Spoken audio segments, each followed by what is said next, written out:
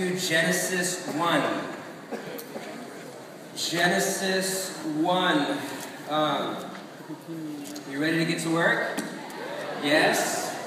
I know I have my tea in here and I'm not supposed to. I'm sorry. Don't, uh, I would say don't judge me, but you're at church.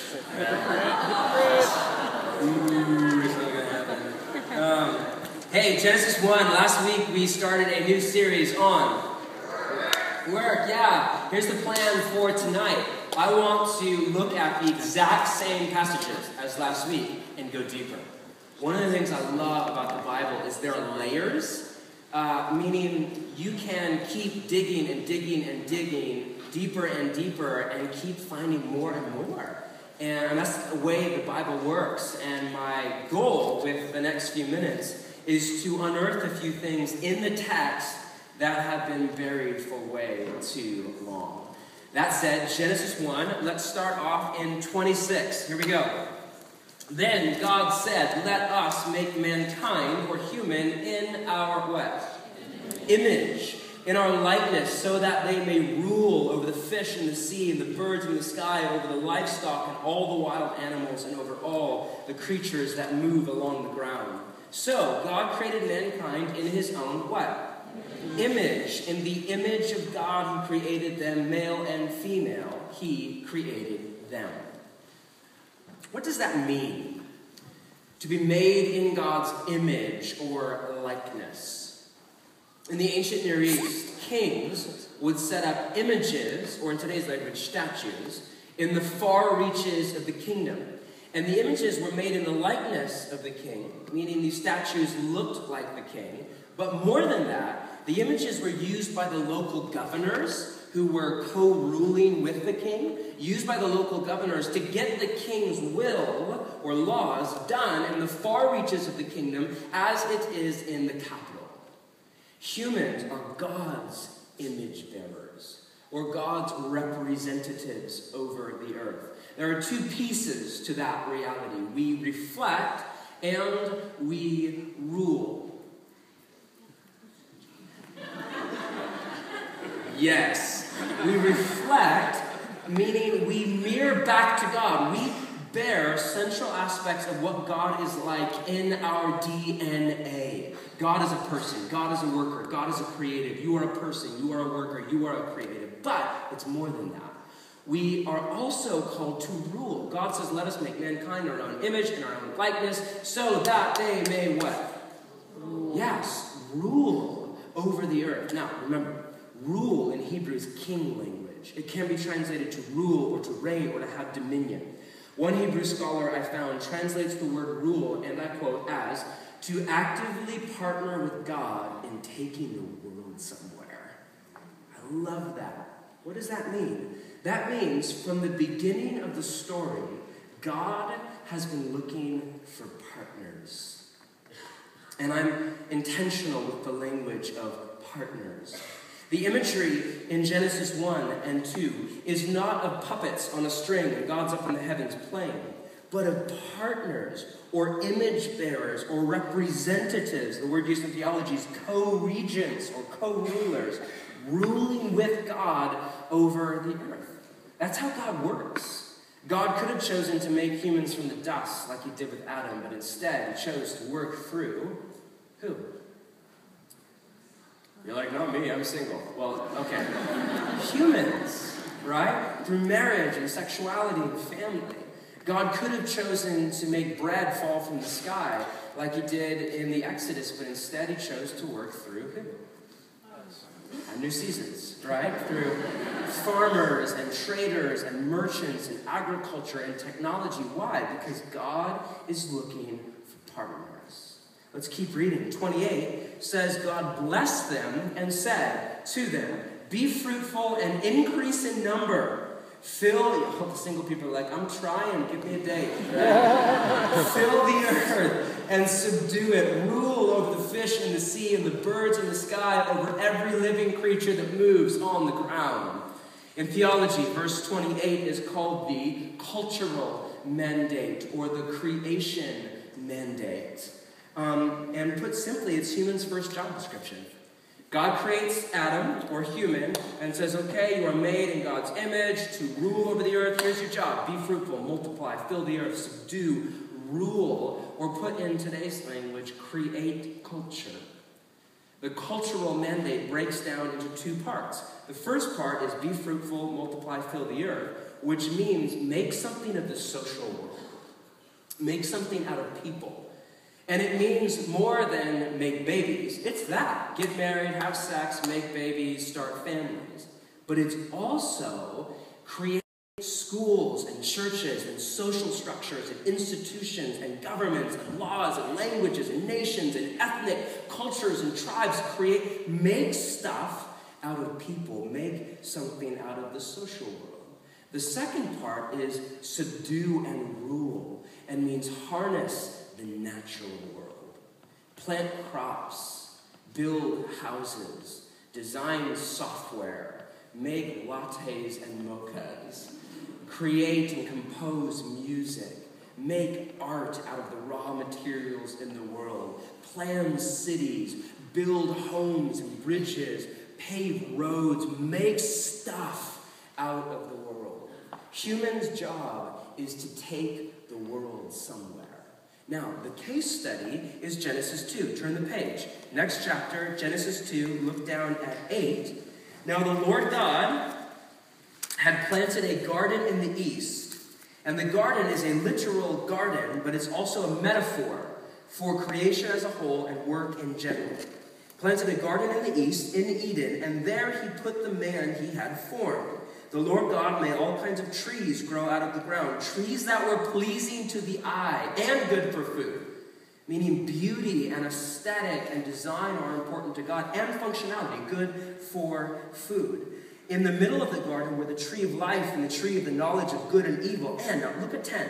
A river watering the garden flowed from Eden. From there it was separated into four headwaters. The name of the first is the Pishon. It winds through the entire land of Havilah, where there is gold. The gold of that land is good. Aromatic resin and onyx are also there, in case you're interested. The name of the second river is the Gihon. It winds through the entire land of Cush. The name of the third river is the Tigris. It runs along the east side of Ashur. And the fourth river is the Euphrates. Now, how many of you reading that are like, I don't care? right? One of the paragraphs in the Bible that you're reading, and you're like, why is that there? Like four headwaters, and the gold of that land is good. Okay, thank you. And onyx and aromatic, what is aromatic resin, right? And you're, and you're reading, why is that there? Actually, it's really important in the text. The author is saying Eden is made up of raw materials. Eden is made up of trees and rivers. Now keep in mind, we live in the modern world disconnected from the environment. In the ancient Near East, trees and rivers are life. Think of oxygen, right? I mean, trees are where you get wood and fire and sources of energy and food and sustenance. Rivers, all ancient civilizations were on rivers because agriculture was connected to rivers and commerce and trade and economy and civilization and villages and learning and languages. All of that happens on rivers in the ancient Near East. Eden is trees and rivers and food and fruit and vegetables and gold and metals and minerals under the ground. Eden is pure potentiality. And God says, look at 15, the Lord God took the man and put him in the Garden of Eden to what? Work it. Work it and take care of it. Here's one definition of work from Tim Keller, who's one of my favorite teachers. He says, work is rearranging the raw materials of a particular domain to draw out its potential for the flourishing of who? Everyone. Not me, but everyone. Work is serving others. Rearranging the raw materials of a particular domain to draw out its potential for the flourishing of everyone. Where does he get that? He gets that from Genesis 2. In fact, the word work, God put Adam in the garden to work it, is abad in Hebrew, and it can be translated to cultivate or to develop or to draw out its potential. Here's what you have to understand. Next slide. The garden was dynamic, not static. Or put another way, the creation was a project, not a product. Not all neat and tiny, tidy with a bow, finished. No, the creation was a project in motion, meaning the garden was designed to go somewhere. When you think about the Garden of Eden, don't think of a public park with paths and ponds and lawns, and God says, Adam, okay, here is a lawnmower and clippers. Go keep the garden nice. Which is kind of the imagery in a bunch of people's minds. Am I right? Um, think of a and think instead of a wild, untamed wilderness. Hundreds of thousands of geographic square miles, teeming with raw beauty and materials and energy and violence and potential. And God says, Okay, Adam, it's wild, no civilization. Go make a world. Go make roads and build bridges and create cities and homes and culture and technology and science and medicine, art and beauty and food and cuisine. Go make something with the world. That is why, when you get to the end the story of the Bible, Revelation 21 and 22, last two chapters, and the author, John, talks about God's future for the earth. He talks about the day when Jesus returns, not to take everybody away from earth to heaven, that is flat out unbiblical theology, but to take heaven crashing into earth to put the world to rights, resurrection, humans come back from the dead, the cosmos comes back from the dead, God makes the world new. We live here in a city called the New Jerusalem. Now, Revelation 21 and 22, when John writes about the New Jerusalem, he writes in Eden language. Blatant, no holes bar. He is clearly alluding back to the Genesis story. He talks about a tree of life right in the middle of the city. He talks about a river that flows right through the middle of the city. He says there's no more curse. He's saying the New Jerusalem is Eden all over again. But it's not. Eden was a garden. The New Jerusalem is a garden like city. Why is that? I mean, if Jesus comes to put the world back together again, if Jesus comes to fix the problem, why doesn't the story end in a garden? Why doesn't the story end with Genesis 2 all over again? Why? Because, next slide, the garden was never supposed to stay a garden. The garden was always supposed to become a garden like city. Take that. now, in between Genesis 1 and 2 and Revelation 21 and 22, there's a whole bunch of Bible. Am I right? What happens in Genesis 3? Yeah, in theology it's called the fall. In layman's term, Adam screws up. Thank you very much. Right? If you were to take sin out of the story of the Bible, you would be left with a pamphlet. Right? Genesis 1 and 2, and Revelation 21 and 22. But sin screws up the human story. Now, in Genesis 3 and past, we have a serious problem. Because the world is wild and needs taming. The world is chaotic and needs order. The world needs ruling. And whose job is it to rule over the earth? Yeah, human's job, my job, your job. But human is broken. Human is out of sync with God. In certain cases, human is flat out at war with God. And now, instead of doing what the scriptures clearly teach, in spite of hyper conservative modern Republicans, the scriptures clear, not that I'm biased, I'm sorry, clearly teach humans' job is to work the earth and take care of the earth. Genesis chapter 2, 15, one of the first things we learn.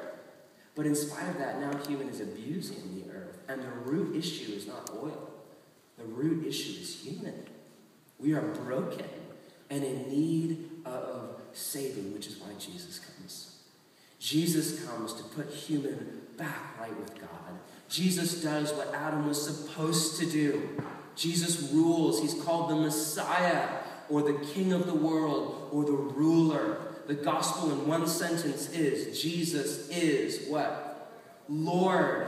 Jesus' message is the inbreaking of God's kingdom, God's rule and reign over the earth in and through a human called Jesus. Jesus is putting the world back together again, one human at a time.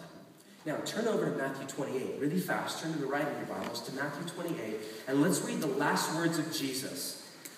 Last words of Jesus, Matthew 28, And last words, I think, tell this story. And in Matthew 28, if you look at verse 16, then the 11 disciples went to Galilee to the mountain where Jesus had told them to go. When they saw him, they worshipped him. Some doubted. Then Jesus came to them and said, and I quote, All authority in heaven and on earth has been given to me, which is how you say Jesus is Lord in the first person.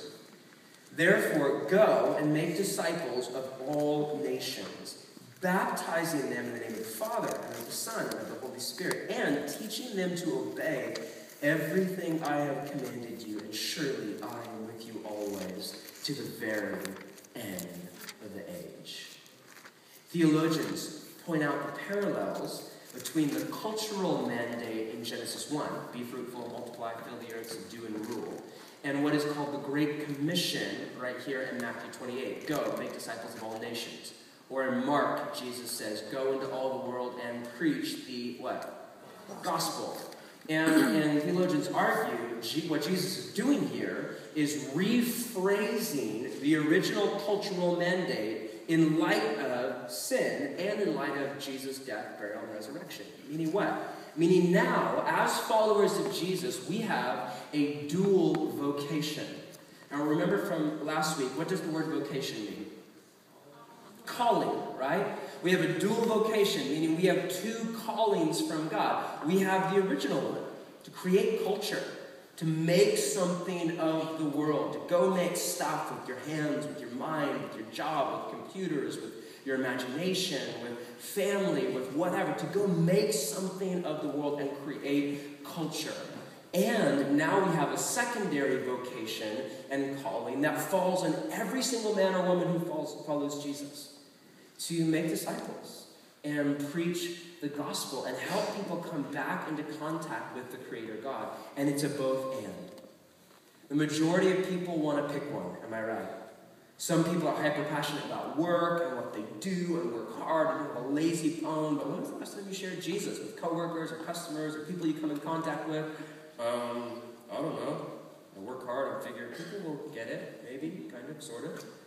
Other people are the opposite. Other people are hyper passionate about the gospel and coworkers and people on the street and friends and neighbors who don't know Jesus, but you are a lousy employee. I mean, straight up. You know the dude who's like getting paid to manage accounts in the cubicle and instead he's reading his Bible? to clarify, that's not godly, right? If Jesus were there, and he is, he would he would be saying, "Get back to work," and he's into the Bible, from what I understand. He like is the author, right? But but he's not into people stealing from employers by not working when you are getting paid to work. There's a word for that stealing. And, we all know how Jesus feels about stealing, right? Like, both are important to God. I mean, my prayer is that you would live as a missionary everywhere you go. Whether you go to Africa, or we prayed over a couple this morning going to um, Cambodia, or whether you go to PSU, or Barista, or Pete's, or the job site, or OHSU, wherever you work, do school, do life, you are a missionary, you are sent by God with the gospel. And my prayer is that you would be the best employees in the city of Portland.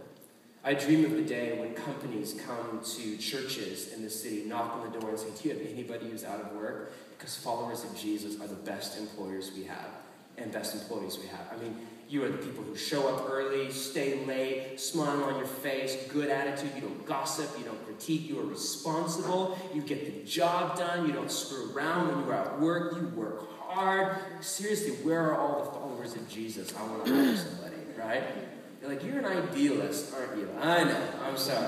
But I dream of that today. When that is the reputation of people who follow Jesus. When people like you and me buy into the dual vocation to create culture, and to make disciples. Now, that said, I'm going to bring up five of my friends who are doing just that. Come on up. And uh, my friends are not public speakers per se, but uh, how about a bit of love for my friends?